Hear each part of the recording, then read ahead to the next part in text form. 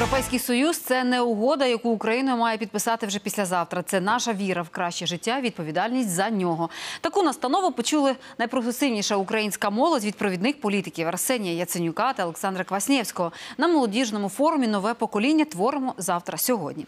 У столичному будинку вчителя вперше разом зібралися кращі випускники двох програм підтримки талановитих студентів Завтра UA і всесвітні студії, які заснував фонд Віктора Пінчука.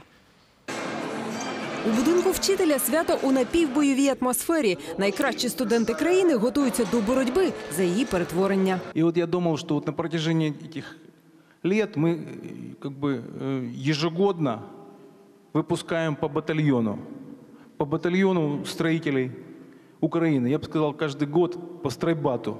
То есть и в этом году это, вы должны так и относиться к себе, что это стройбат. Вы как бы те, которые должны строить Украину. Батальйон у зелених майках стипендіати освітньої програми Завтра UA, яка допомагає студентам реалізовувати їх власні проекти. А ці сім молодих людей стипендіати всесвітніх студій, програми, яка фінансує навчання кращих випускників вишів у кращих університетах світу.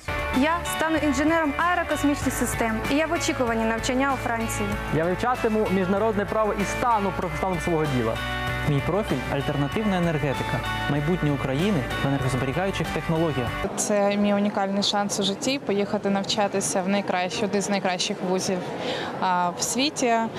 Це університет Оксфорду. Це чудова перспектива для мене і чудова перспектива для мене як для майбутнього фахівця, який збирається працювати в Україні. Обидві програми заснував фонд Віктора Пінчука і от вперше проводить випуск разом. Надихнути будівничих нової України прибули дипломати і політики, серед яких колишній президент Польщі Олександр Кваснєвський. Він привів свою країну у євроспільноту. Тепер усіляко допомагає нашій. каже, євроінтеграція і розпочинається зі студентських поїздок світом.